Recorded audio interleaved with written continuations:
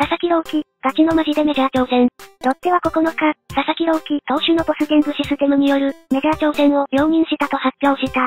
申請期限は12月15日で、メジャー全30球団に契約可能選手として通知されると、全球団との交渉が可能になる。佐々木は25歳に満たないため、ルール上はマイナー契約しか結べず、最大30球団による争奪戦に発展しそうだ。おめでとう佐々木、遅かれ早かれ、こうなってただけの話や。おいおいおい、足木前例作ってしまったじゃん。やっぱ優勝する気なかったんだな、もう知らねえわ。こんな選手を指名したのが、間違いだったのでは？ロッテとしては、何も得るもがなかったな。2025年ロッテ、お疲れ様でした。やると思ったよ、ないない言ってた奴は、どんな気持ち違い大した働きもせずに出ていくのか、岩手のクソ野郎は。ならなんでドラフトで、中村なり、佐藤なりいかんかったんやて。